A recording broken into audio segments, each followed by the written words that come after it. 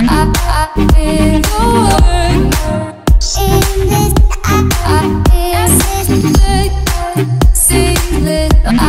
feel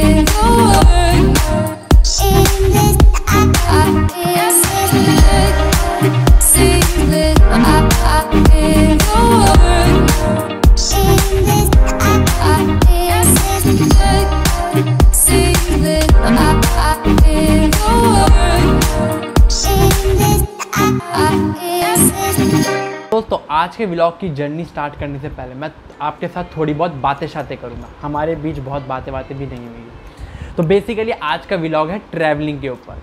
travelling के ऊपर मैं आपको कुछ बातें बताऊँगा। तो ये ट्रैवल की बात बेसिकली ये नहीं है कि हम किसी अदर कंट्री या अदर सिटी पे जा रहे हैं। इट्स ऑल अबाउट कि आप कहीं भी जा रहे हैं। मे बी आप अपनी शॉपिंग मॉल में जा रहे हैं या मे बी आप अपने किसी फ्रेंड के साथ कहीं घूमने जा रहे हैं। नियर बाई योर होम कोई भी प्लेस जा रहे हो, कहीं भी जा रहे हो तो ये पूरा उसके ऊपर डिपेंड है। तो बेसिकली आपने बहुत सारे लोगों को देखा होगा, वो ट्रैवल के समय पे उस जगह के बारे में ये बताते हैं, वो बताते हैं, ये चीज़ें बताते हैं, जो कि अच्छी बात होती है। लेकिन वो उस समय को एज ए गाइड आपको सारी चीज़ें बता रहे हैं, वो चीज़ गुड है।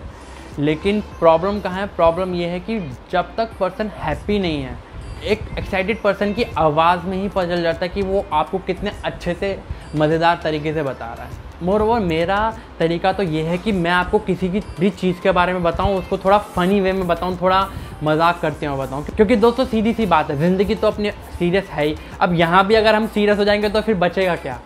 जो इंसान फ़न करना भूल जाता है, समझ लो वो जीना भूल जाता है।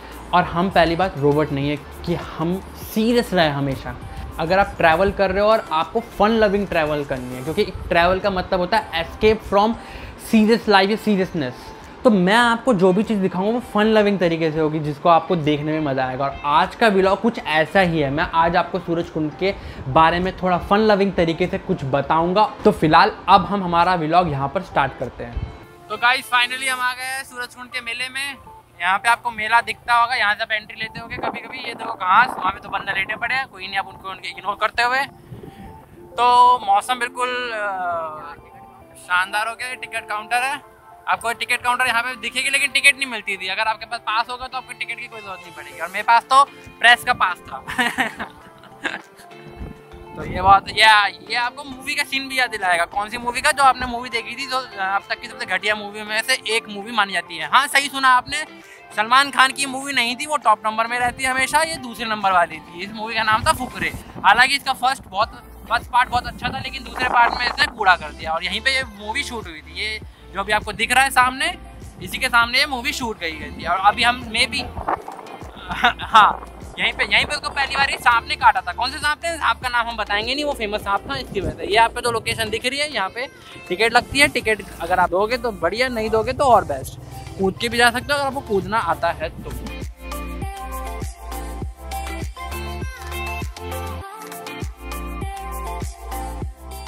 लोकेशन बहुत अच्छी लग रही है, यहाँ पे फ़ोटोज़ बहुत अच्छी अच्छी आ सकती है। मेरा मेरा पर्सनली इधर जाने का बड़ा मन था, लेकिन अभी देखते हैं कब होगा। यहाँ पे लोग कभी कभार फुटबॉल भी खेल लेते जो आपको सामने दिख पा रहा है। और ये एक छोटा कुतुब मीनार या छोटा हैदराबाद का वो भी बोल सकते हो। क्या नाम है? क्या? चार मीनार। हैदराबाद का चार मीनार, जैसा कि हम पीछे छोड़ते हो यहाँ पे आपको कुछ रेस्टोरेंट बार भी मिल जाएँगे, जो कि बहुत अच्छे हैं और शानदार है। मैं अभी आपको छोटा सा ओवरलुक दे रहा हूँ इस जगह का, और अभी हम थोड़ा बहुत शूट के लिए खाली जगह ढूंढ रहे हैं।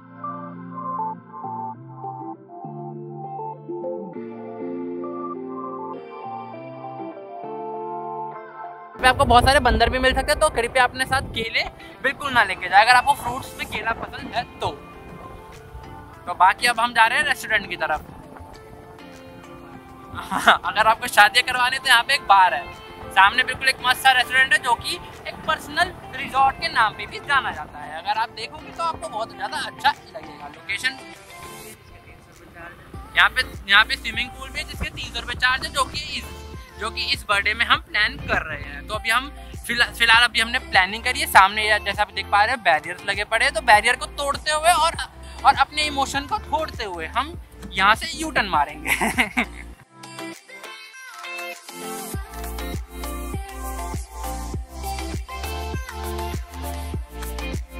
मौसम बहुत ज़्यादा बढ़िया हो रहा है। हाँ मेरी आवाज़ थोड़ी आपको अटक अटक के आ रही होगी, लेकिन वो उसका क्या करें अब कुछ कर नहीं सकते। लेकिन आप जैसे कि देख पा रहे हैं, बादल बहुत अच्छे हो रहे हैं और बादल तो अपने प्यारे हैं ही। और इन बादलों के पास ही हम फ़ोटो खींचने की सोच रहे हैं। मेरे को ये लोकेशन अच्छी लग रही है। क्या हम यहीं पे फ़ोटो खींचना स्टार्ट करें? इसके पास। Okay okay. अभी फ़िलहाल अभी हम ओवरलुक कर रहे हैं। तो अभी हम हम आपको एक ओवरव्यू दिखा रहे हैं।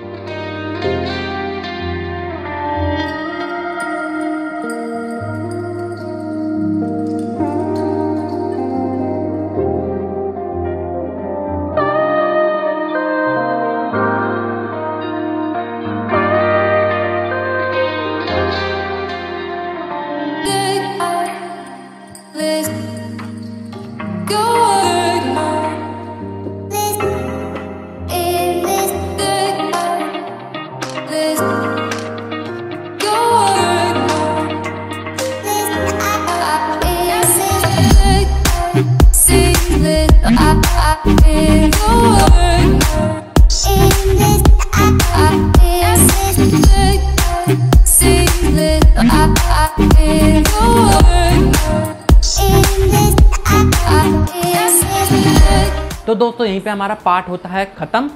अपनी एक्साइटमेंट को बनाए रखें, क्योंकि नेक्स्ट वीडियो में आने वाला है हमारा फोटोशूट का पार्ट तो मिलते हैं नेक्स्ट वीडियो में, चलिए टेक केयर बाय